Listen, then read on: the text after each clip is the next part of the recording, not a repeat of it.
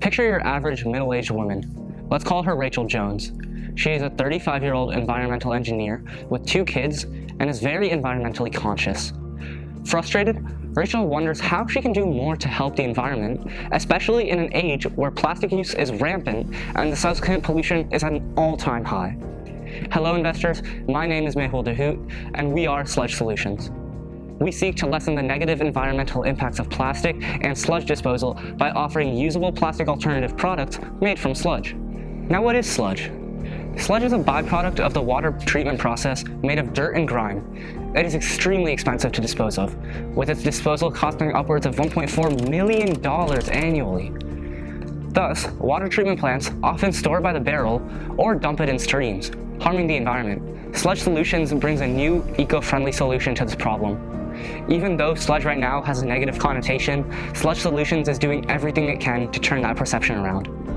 Now let's talk about how we make the product. Sludge in its raw form is filled with toxins, so we will convert sludge into safe, non-toxic products by feeding it to bacteria, which will convert this sludge into usable bioplastics known as PHAs. PHAs are very environmentally friendly. After they are shaped and cooled, we will dye them into various colors to create an attractive offering. What exactly is this offering? We will be creating everyday products such as plates, cups, containers, and utensils.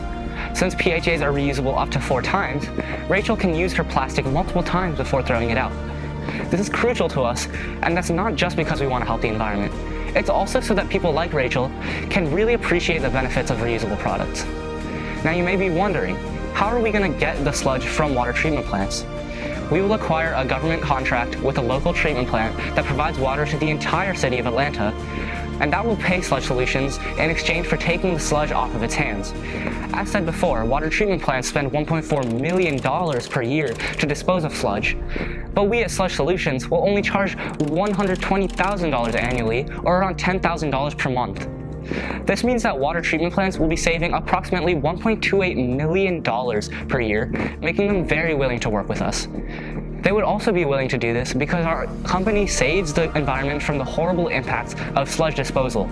As long as the company keeps revenue up, the water treatment plants will continue to pay to give us sludge, and the revenues will stay up. In a study of 30,000 consumers in 60 countries, 66% of respondents say that they are willing to pay more for sustainable goods. This number is even higher among millennials. 73%, or around three quarters, say that they would pay extra for more eco-friendly offerings. The response to sludge products has been overwhelmingly positive in mock-up tests as well in this local region. 80% of customers indicated that they would be willing to buy the current second iteration of Sludge Solutions offering. In this way, Rachel is not just an imaginary customer, she, re she represents the actual wants and frustrations of real people. Our company is very original, but we do have competitors such as Veolia, Evoqua, and Xylem, who all specialize in the wastewater treatment and disposal industry. But what makes us unique is that we are the first company to convert sludge into solid products on such a large scale. The companies just mentioned have tried to convert sludge into renewable energy with success, but, not, but never plastic. In addition, though the average price of our products will be $2.50, which is slightly higher than the normal market price of petroleum plastic, another competitor. When you look at the quality and environmental benefits you get, you will find that customers are definitely willing to pay the extra price. Finally, the financial aspects of Sludge Solutions have been thoroughly thought out and analyzed. Based on careful research, the company expects to break even in the fourth quarter of its first fiscal year and projects a profit of around $6.5 million after its fifth year. Its salaries account for managers, as well as truck drivers and machine operators, who will be working Monday through Friday. Inventory includes anything not directly involved with the production of the offering, such as storage bins and trucks. Capital expenditures, meanwhile, include machinery crucial to all steps of the production process, including the injection molding machines, chillers, and more. And finally, operational expenditures involve all miscellaneous expenses such as insurance, marketing, and loan interest.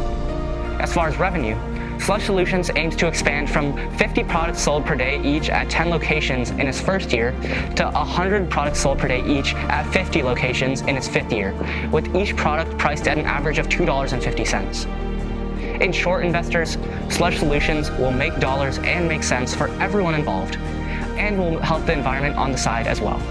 Thank you.